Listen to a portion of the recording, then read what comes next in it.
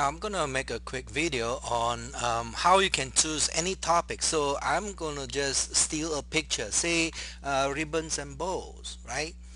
And what I do is I will select say interesting photograph like that okay? So in this case it's very easy. Now my topic is teeth. I'll show you later how you're gonna use let's say teeth as the topic. And it doesn't really need um, you to be the technician okay? But more importantly is you got to choose your topic well. Now I I can say uh, I can say uh, let me see I'll show you the comment. I can say uh, for example facing out the porcelain fused to metal. You, you can say that oh Kojak is facing out the porcelain fused to metal and you can use those photographs that I use you understand more importantly is where you're going to post these particular pictures to create the interest. Okay, got to be in the dental groups. Now, like I said, the other one regarding, uh, let's say for example,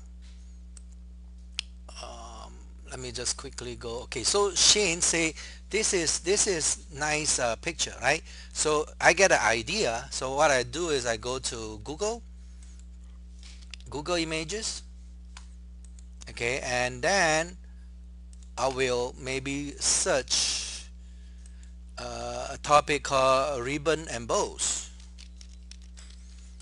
Ribbon and bows okay? So here you get tons and tons of uh, pictures. So in this case you don't really have uh, the hairdo one right? So you have to do another search. Hairdo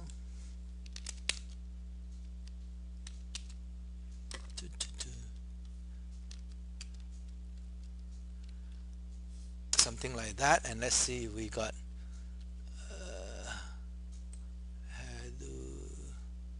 ribbons. I'm not too sure what the correct term so I'm going to test it out quickly.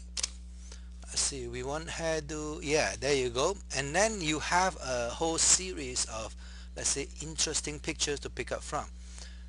Uh, you might need another say like let's say this one here. Okay so that would also create some interest. Uh, and then you can take a picture of that screenshot. Uh, I use Jing but right now because I'm recording I couldn't use it. Uh, I have to use another one. No I couldn't use it but usually I'll just box it up and then that'll be an interesting hairdo. Uh, let me see. And this one might create some curiosity. Okay and then this one here. See? So you can compile your your number of uh, pictures easily. And it can be any topic. Like in this case as as for my case it could be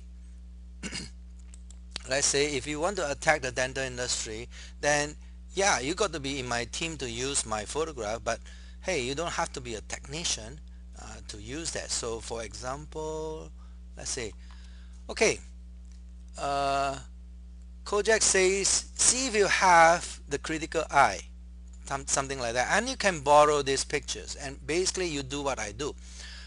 As long as you watch how I create uh, or intrigue their interest right then you can follow the same steps. It doesn't have to be you know you don't have to be a technician in order to do this.